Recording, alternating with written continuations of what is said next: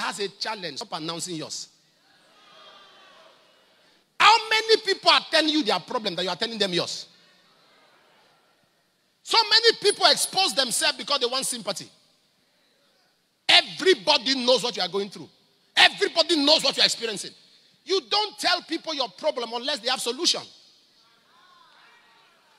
Anyone that can't help you will hurt you.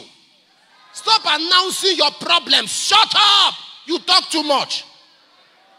Everybody knows what you are going through. Everybody knows it. Please, there are many proverbs we grew up to meet that are not correct. Stop saying because there's a long-standing statement that makes it correct. There are many balances that needs to be corrected. Because some of them were spoken out of emotion. Some of them were not properly thought through. Who told you a problem shared is a problem solved? It's not true. A problem shared to the right person is a problem partially solved.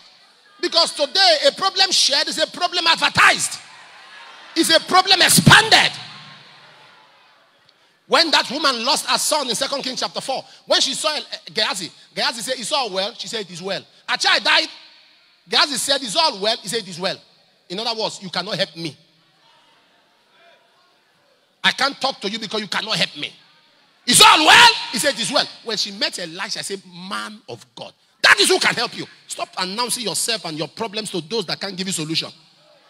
Your landlord knows you have a fibroid. Your tenants know you need fruit of the womb. Are they carrying the fruit to put in the womb? You're crazy. Is it, is it the doctor that will do operation for you? Why don't you have a child? We are believing God. We are planning. We are preparing. Is there a problem? There is no problem. Is there an issue? There is no issue. We are fine. We are good. Am I talking to somebody here? There are people, they feel pain. They want to know your problem. Little thing, you, you frown. From the, from the depiction of your face, people must know you have a problem. They don't ask you, what is it? In fact, when you frown like that and they don't ask you, you're angry. With my face like this, you, can, you can't even know. You can't, are you blind? You can't even know I'm going through something. You can't even know. What's that? Little thing you have done.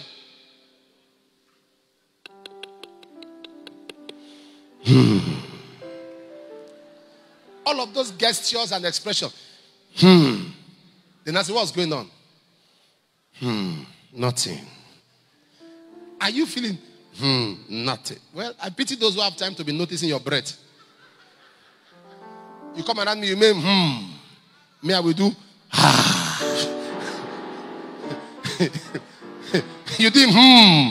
I do ha ha. We'll be in competition of who is breathing louder. What, what? Stop saying that. When you go to places, it's like you walk into the hospital, you see the gate man. You start say, you said you get a chair. You get a chair for the gate man to see that. You Start telling the gate man your problem, diagnosis. He can't help you. When you finish, you see the gate man in the hospital. He say, I want to talk to you. My, my body and neck is paining me. Back, in fact, my head, my shoulder, my knees, my toe, everywhere is paining me. Get man with your guy, bed dress. I never collect salary this month. Am I communicating here?